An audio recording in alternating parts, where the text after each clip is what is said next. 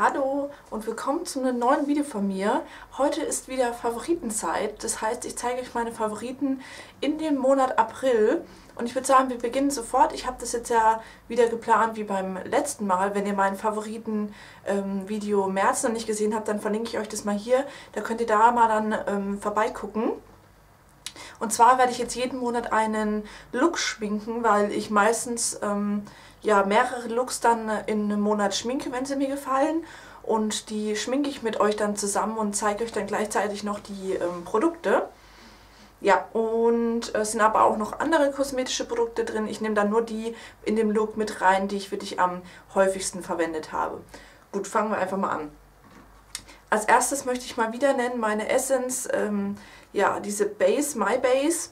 Ähm, einmal die Illuminating Base und die Skin Perfection Base. Die mische ich jetzt wieder. Ähm, dann habe ich nämlich super guten Halt ähm, fürs Make-up und gleichzeitig noch so einen äh, Glow mit drin. Dann mache ich es jetzt immer so, dass ich unter dem Make-up einen äh, Concealer verwende, auf die Stellen, die eben gerötet sind, äh, wo Pickel vorhanden sind und so weiter. Dann nehme ich immer von Catrice die Camouflage. Ja, ich nehme dann, äh, wie ihr sehen könnt, nehme ich dann immer meinen Beauty Blender und trage das dann, wie gesagt, so ein bisschen großflächig auf. Nicht zu viel, nicht zu wenig, ähm, gerade dass das Ganze eben einfach abgedeckt ist. Äh, Revaldo Natural Lift Make-up ist wieder dabei, weil es eben sehr hell ist und ähm, einfach mir von dem ganzen ähm, sehr gut gefällt. Es hat mir nur, was heißt zu wenig Deckkraft, aber ähm, ich mische da gerne noch eine andere Foundation mit rein. Und es war diesen Monat die Essence Day All Day ähm, Long Lasting das Make-up in der Farbe 20 Soft Nude. Und die zwei äh, mischte ich dann immer und trage sie dann mit meinem äh, anderen Favoriten auf, und zwar den Expert Face Brush von ähm, Real Techniques und der kostet so um die 13, 14 Euro, ähm, aber das ist halt definitiv wert. Also ich liebe ihn. Ähm, für Foundation ist der wirklich super klasse. Bronzer benutze ich diesen Monat, den von ELF aus dem Contouring Blush and Bronzing Powder. Ähm, schade, dass es den nicht einzeln gibt bei ELF, weil den Blush benutze ich nicht so häufig. Ja, nur 4,49 Euro, deswegen ähm, würde ich das definitiv auch äh, nur für den Bronzer ausgeben. Und als Blush habe ich von Alberde Pastel Rosé verwendet. Ähm, ich stehe einfach total auf den Ton. Also ähm, ich weiß auch nicht, es ist so ein rosa, aber ein sehr besonderes rosa. Also eher ein kühleres äh, rosa und ähm, ja, ich weiß nicht, die Farbe gefällt mir einfach ähm, richtig, richtig gut. Und deswegen habe ich in diesem Monat eigentlich am meisten getragen. Ähm, und ich finde eigentlich auch, dass der auch zu dem ähm, dunkelroten Lippenstift sehr gut passt. Und dann habe ich mal wieder von MAC meine ähm, Color Bases, Cream Color Bases rausgeholt. Die benutze ich halt äh, immer in Kombi. Das heißt, ähm, als erstes benutze ich immer die Farbe Pearl. Ähm, da sind übrigens, wie viel Gramm sind da drin? 3,2 Gramm und es kostet um die 20 Euro. Sehr, sehr viel, aber ihr braucht auch wirklich wenig. Und da nehme ich auch wieder meinen Beauty Blender zu und Pearl benutze ich dann immer so in der T-Zone. Ich habe ja eine sehr, sehr trockene Haut, deswegen sieht meine Haut immer sehr fahl und matt aus. Deswegen liebe ich es eigentlich fast im gesamten Gesicht Highlighter aufzutragen. Das ist natürlich wieder Geschmackssache. Ich mag es total gerne. Natürlich manche, die fettige Haut haben, finden das ganz schrecklich. Ähm, ist ja auch klar, aber ähm, für meinen Teil, für trockene Haut, finde ich es äh, sehr, sehr schön, wenn man doch im ganzen Gesicht so ein ähm, Highlight eben setzt. Und da tue ich immer in der T-Zone ähm, Pearl auftragen.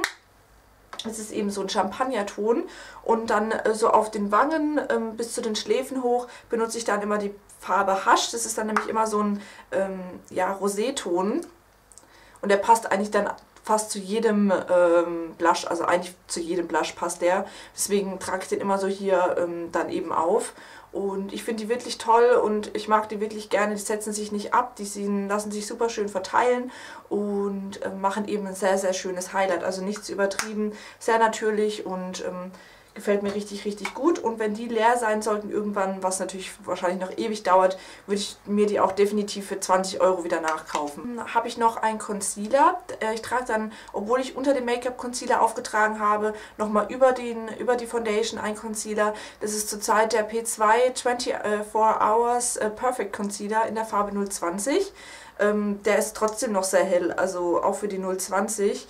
Ähm, ja, ist ein ganz guter Concealer. Also ähm, hilft bei meinen Augenringen trotzdem nicht. Also man sieht sie trotzdem noch ein bisschen durch, aber ähm, er ist nicht so trocken einfach, also er setzt sich nicht so in die Fältchen ab und das machen sehr, sehr viele ähm, Concealer bei mir, deswegen benutze ich den sehr gerne, weil ähm, das schon richtig hässlich aussieht, wenn sie sich immer in diese Fältchen verkriechen. Aber bei trockener Haut ist es eben noch schwieriger, weil, ähm, ja, weil da unter den Augen die Haut natürlich auch sehr trocken ist. Und benutzen tue ich da immer diesen abgeschrägten Pinsel von Ebelin, den es ja jetzt im neuen Sortiment gibt. Den benutze ich dann immer, um das ähm, ja, einfach so zu verteilen. Da habe ich, ähm, weil ich sehr häufig rote Lippen getragen habe, habe ich dann natürlich die Augen so ein bisschen zurückgenommen und nicht so viel mit dem gemacht. Ähm, da habe ich dann zu Anfang als erstes mal vom P2 äh, 24 Hours Perfect Eyeshadow Cream, die sind ja jetzt im neuen Sortiment, da habe ich die Farbe 010 Love Me ähm, einfach ähm, aufs gesamte Lid einfach aufgetragen und verblendet. Da brauche ich dann auch keine, ähm, keine Eyeshadow Base mehr, weil die, die wirklich ähm, sehr, sehr gut halten. Genauso wie bei den ähm, von Catrice, bei Lord of the Blinks oder so, da ich, brauche ich auch keine Eyeshadow Base mehr drunter. Und dann nehme ich immer von der Naked 2 Palette die Farbe Beauty, Booty Call aufs gesamte Lid, also trage ich einfach aufs gesamte Lid auf und dann in der Lidfahl, äh, äh, heute habe ich einen Sprachfehler wieder, ähm, in der Lidfalte die Farbe Tease, das ist so ein, ähm, ja, eine sehr schöne Schattierfarbe, die nicht zu dunkel ist einfach. Die trage ich dann in der Lidfalte auf und verblende das Ganze nochmal und dann ähm, ist das Augen-Make-up so gut wie fertig. Dann benutze ich nämlich nur noch einen Lidstrich mit dem Essence I Love Style äh, Liquid Eyeliner. Schwarz ist halt sehr flüssig, da muss man am Anfang ein bisschen aufpassen. Aber wenn ihr den in der Krabbelkiste seht, nehmt den auf jeden Fall mit. Der ist wirklich sehr gut und ich trage den ähm, wirklich gerne, weil er eben sehr schön schwarz ist. Und wenn man sich dran gewöhnt hat, ähm, kann man den auch super gut und schnell auftragen. Und auf der Wasserlinie wie immer vom Basic äh, ein beiger Kajal, also allgemein einen beigen Kajal, ähm, trage ich ja eigentlich immer auf der Wasserlinie, mache die Augen nochmal ein Stückchen größer. Ähm, noch von Essence, äh, die I Love Extreme Crazy Volume Mascara, äh, ja auch wieder jeden Monat ein Favorit von mir. Ich benutze kaum noch eine andere Mascara, weil ich die einfach ganz, ganz toll finde. Ich weiß auch nicht, also die gefällt mir einfach so gut, ähm, dass ich einfach keine anderen Mascaras mehr benutze. Das war's jetzt ähm, mit dem Look. Und jetzt würde ich sagen, geht es weiter mit noch drei kosmetischen Produkten und dann kommen wir zu anderen Haarprodukte und Körperpflegeprodukte und so weiter. Da habe ich zu einem, wenn ich diesen Alverde Blush nicht getragen habe, habe ich ähm, von Mimimi Blush Me die Farbe Pink benutzt. Das ist so ein helles Rosa. Und zwar lag es daran, ähm, dass ich dann ja den roten Lippenstift nicht getragen hatte, sondern zwei andere ähm, Lippenstifte. Und da fand ich, äh, ja, hat er einfach besser gepasst und ich finde ihn halt sehr schön, weil er nochmal so eine richtige ähm, Frische ähm, ins Gesicht zaubert. Und zwar habe ich da noch einen ähm, Lippenstift oder Lippentint oder Lipgloss, wie man es auch nennen möchte, als Favorit und zwar von Yves Saint Laurent, die Rouge Pur Couture, wer, keine Ahnung, ich kann kein Französisch. Auf jeden Fall diese Lippenlacke äh, oder Lip-Tints oder wie man sie auch nennen möchte. Ähm, in der Farbe 15, da steht jetzt natürlich die richtige Farbbezeichnung nicht drauf, ähm, aber die ist die Nummer 15 und so rum. Und das ist wie gesagt so ein, ähm, am Anfang wie so ein Lipgloss. Und dann ähm, wird es so matt, also das heißt, es wird, es wird dann, es trocknet dann, genau, es trocknet dann und wird dann ähm, ja, so lang anhalten eben. Und zwar äh, bleibt der, was an, an denen, oh, ich kann heute echt nicht sprechen, was an denen sehr besonders ist, ist, dass die dann aber noch glossy bleiben. Also wenn die antrocknen, werden die dann nicht matt oder so, sondern es sieht dann aus, als hättet ihr einen Lipgloss drauf, aber der hält eben sehr lange. Und ich trage dann immer zwei Schichten auf, also eine Schicht und dann lasse ich das trocknen und trage dann noch eine Schicht auf. Und dann hält es bei mir so ähm, fünf Stunden ungefähr mit Essen und Trinken. Und es ist eben eine sehr, sehr schöne Farbe und dieses, dieser glossige Effekt bleibt eben sehr lange auf den Lippen. Und es gefällt mir eben sehr gut. Ähm, dafür haben sie natürlich auch ihren Preis von 30 Euro. Ähm, ich will ihn weiterhin noch testen und werde dann auf jeden Fall definitiv ein Video drüber machen, wo ich dann euch wirklich zeige, nach wie vielen Stunden der Lippenstift dann so und so aussieht. Ähm, ähm, aber der hat mir diesen Monat auch sehr, sehr gut gefallen. Und wie gesagt, gerade mit dem ähm, Blush war das dann so eine mega Frische im Gesicht. Also gerade an den Sommertagen, also wenn es jetzt in, also in diesem Monat, wo es sehr warm war, habe ich das immer getragen, weil ähm, ich finde, der roten Lippenstift ähm, kann man zwar auch im Sommer tragen, aber der hat eben noch so einen Pflaumeanteil mit drin und deswegen Habe ich den Lippenstift jetzt überhaupt schon genannt? Nee, habe ich gar nicht. Und zwar ist es der Lippenstift von ähm, Sleek aus der True Color Reihe. Und zwar die Farbe Cranberry. Und der ist eben matt und das ist eben so ein Pflaumeton, also ein dunkles Rot mit einem Pflaumeanteil drin. Und den habe ich wirklich, wirklich häufig diesen Monat getragen. Den fand ich so, so wunderschön. Und da der matt ist, hält er eben auch sehr lange. Und deswegen hat er mir sehr gut gefallen. Der trocknet die Lippen nicht aus und er hält wirklich ähm, sehr gut auf den Lippen. Und die Farbe finde ich einfach nur wunder, wunderschön. Genau. Und deswegen, also der passt eher, finde ich, zu den ähm, regnerischen Tagen oder den dunkleren Tagen. Und wenn da mal wirklich 27 Grad sind draußen, ähm, trage ich halt lieber so ein Pink oder sowas, äh, sowas Frisches eben. So, dann habe ich noch einen Lippenstift. Ähm, und zwar ist der ist es die Farbe 110 Timeless Rose und es ist von den Indefectible Lippenstiften. Das sind die, wo ihr auf der einen Seite den Lippenstift habt. Ich kann euch den ja auch mal swatchen von der Farbe. Und auf der anderen Seite habt ihr dann ähm, so diesen Lippenbalsam, weil der trocknet jetzt gleich und dann ähm, hält er eben oder soll der eben anscheinend ähm, sehr, sehr lange halten. Also ich glaube zwölf Stunden oder acht Stunden ähm, ist auf jeden Fall eine wunder, wunder, wunderschöne Farbe aber ähm, hält bei mir nicht so lange auf jeden Fall. Und der trocknet die Lippen halt schon sehr aus, deswegen ist ja der Balsam noch dabei. Aber trotzdem, trotz alledem gefällt mir die Farbe so gut, dass ich den einfach in die Favoriten reinnehmen muss. Und es ist jetzt nicht so, dass ähm, es wirklich super schrecklich aussieht. Eure Lippen werden halt nur so leicht ausgetrocknet von dem Lippenstift. Aber wenn ihr eure Lippen ja schön pflegt, dann ähm, geht es auf jeden Fall wunderbar. Und der hat eben auch noch so goldene Glitzerpartikel hier mit drin, die man auch nicht auf den Lippen spürt. Und ich finde einfach nur, dass es eine wunder wunderschöne Farbe ist. Genau, dann kommen wir jetzt doch mal zu den ganzen ähm, Pflege, Parfums und so. Und ich würde sagen, ich fange auch mit dem Parfum an. Das ist ähm, ein Parfum vom Kick. Ich bin ja sehr, sehr, ich bin ein sehr, sehr großer Fan von den ähm, Kick Parfums. Die halten zwar nicht so lange und sind ja sehr, sehr günstig, dann ist es natürlich auch wieder klar. Die haben aber ähm, Dupes äh, zu äh, teureren Parfums. Also ich hatte zum Beispiel eins, das war dann ähm, von Chill Thunder das Chill. Oder hier habe ich jetzt das, ähm, das Dupe zu dem äh, Hugo Boss Orange oder Sunset, ich weiß es gar nicht, ich glaube Orange. Ähm, und die kosten dann nur um die 3 Euro, glaube ich. Und da sind 100 Milliliter drin. Und die riechen halt ähm, schon sehr nach den Originalen, nur dass sie halt einfach nicht so lange halten. Ähm, aber da kann ich eben auftragen und auftragen, wie ich will, weil ich bin eine, die sehr viel Parfum trägt. Und dann kann ich da, muss ich da nicht unbedingt zu sparen. Und ich liebe den Geruch einfach nur. Also ihr müsst da unbedingt mal reingucken, müsst mal an dem Wild Woman ähm, riechen. Es riecht wie gesagt sehr nach dem Hugo Boss. Und ich kann da eben so viel auftragen, wie ich möchte und muss jetzt nicht traurig sein, wenn da schon so viel raus ist. Ähm, weil so ein Hugo Boss äh, Parfum kostet ja auch so 50, 60 Euro. Und da ist natürlich 3 Euro auf jeden Fall besser. Dann kommen wir jetzt mal zu Haarsachen. Da habe ich drei Produkte für euch. Einmal von Garnier Fructis, das äh, der Spitzenheld Anti-Spliss Serum war mal in, einem, in der Pinkbox bei mir drin und ich finde den wirklich, wirklich gut. Also gegen Spliss hilft auf jeden Fall nichts. Also ihr müsst dann die Haare abschneiden, wenn ihr Spliss habt.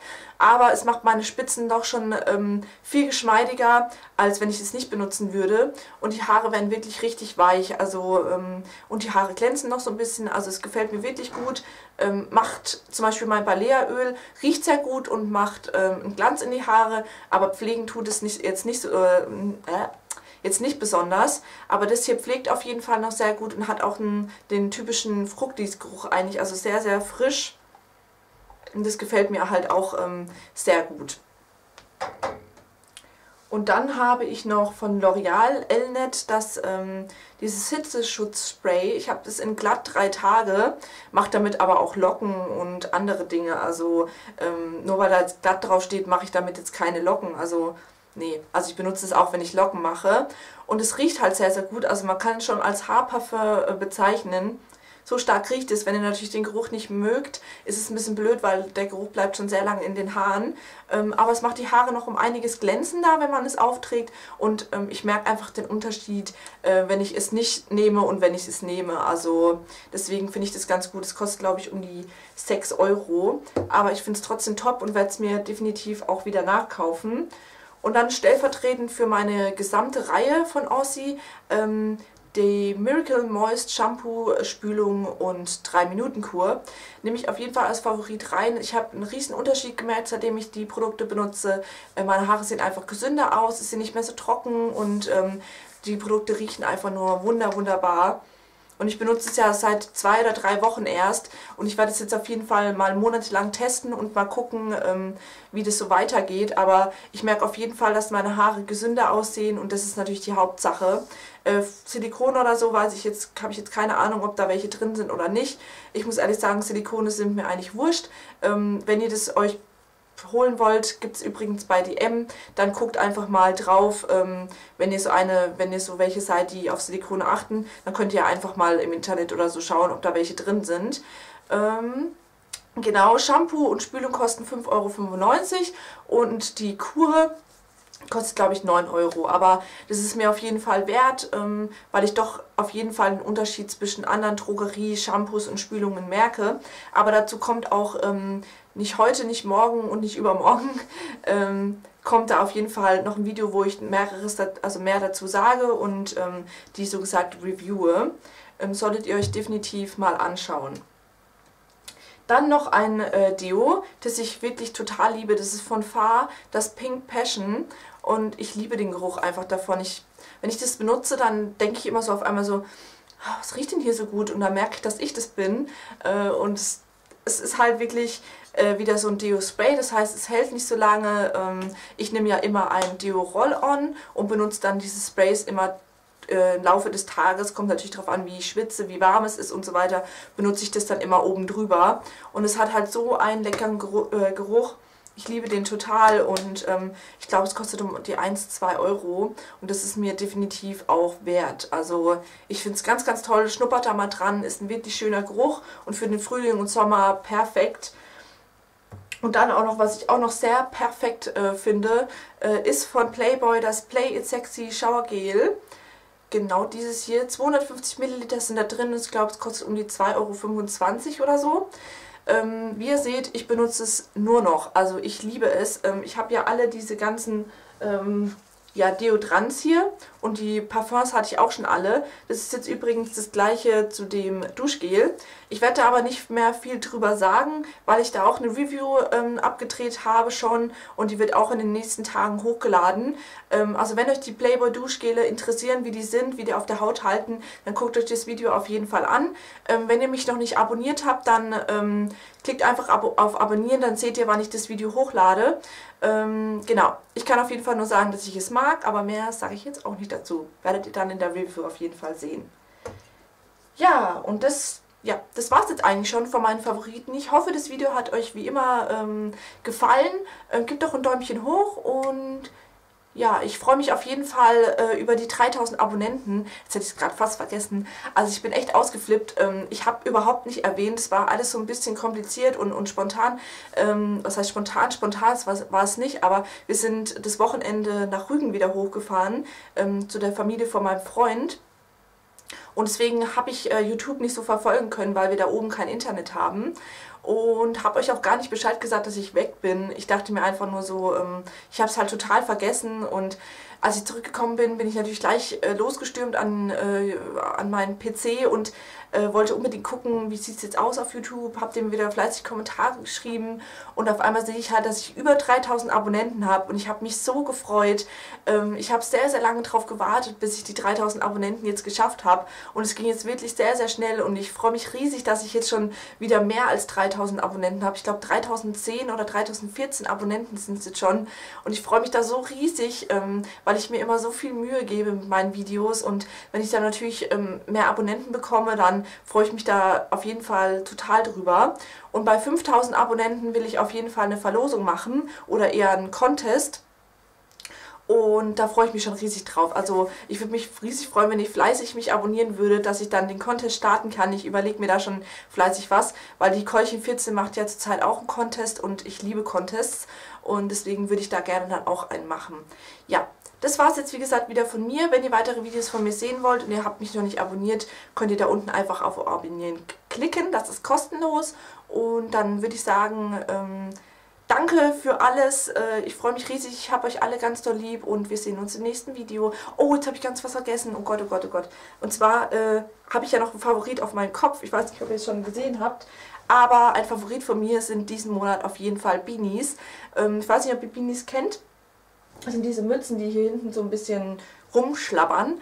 Und da habe ich ähm, einige zugeschickt bekommen und teste die gerade. Da wird auch nochmal ein ähm, Video drüber kommen, ein externes Video so gesagt. Ähm, die sind von Skate Deluxe äh, von der Seite. Die Seite verlinke ich euch auch nochmal in der Infobox. Und die teste ich eben gerade und ich liebe Beanies. Ähm, ich werde auch ein Lookbook machen mit Beanies, ähm, also wie man Beanies mit ähm, Klamotten kombinieren kann. Und das ist auf jeden Fall auch noch ein Favorit von mir im April. Und ja, jetzt sind wir fertig. Jetzt ist vorbei. okay, wir sehen uns im nächsten Video. Tschüss!